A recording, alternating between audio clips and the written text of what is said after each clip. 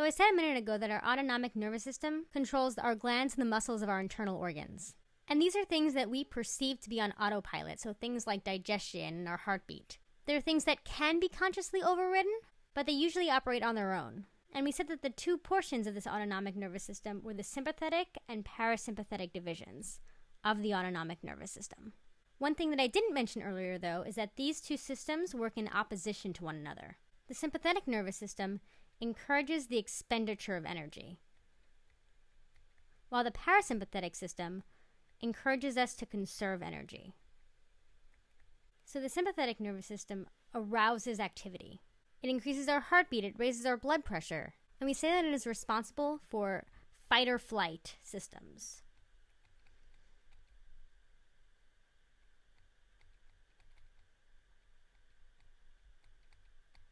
The parasympathetic system, on the other hand, does the exact opposite. It causes us to come down. We say that it is responsible for rest and digest.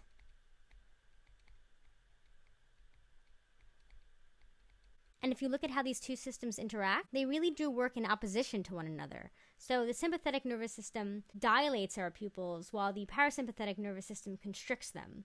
The sympathetic nervous system increases our heartbeat while the parasympathetic slows it. And these two things make sense. So, when your pupils are dilated, this allows more light into your eye, and maybe you'd be able to see more things in your environment. Maybe you'd be able to spot a predator more easily. And if your heart is beating fast, that means more oxygen can get to your muscles in case you need to make a quick exit. On the other hand, your heartbeat takes a lot of energy, and so when you don't necessarily need to run away from anything that's that's scary or if there isn't a stressor in your environment, it makes sense to conserve that energy by slowing your heartbeat because not all of your muscles are in need of all of that oxygen.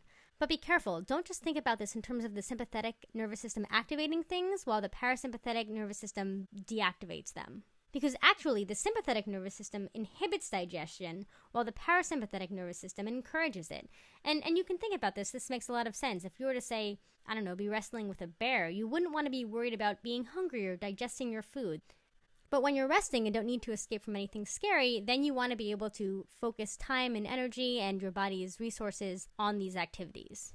So the sympathetic nervous system increases your heart rate, raises blood pressure, slows digestion, raises blood sugar, while the parasympathetic nervous system produces the opposite effects. It conserves energy, it decreases your heartbeat, it lowers your blood sugar, and so forth.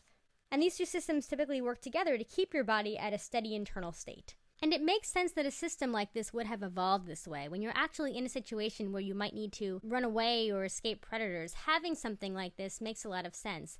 But think about the stressors that you see within today's environment. There are many things that might stress you out today. Maybe you're afraid of giving a speech in public. And that stress can activate the sympathetic nervous system. And if you've ever been afraid of something like that, you know what it feels like, right? Your hands get sweaty, your heart races. All of these indicators of sympathetic activation, but because you're not trying to run away from anything, those signals don't necessarily make any sense.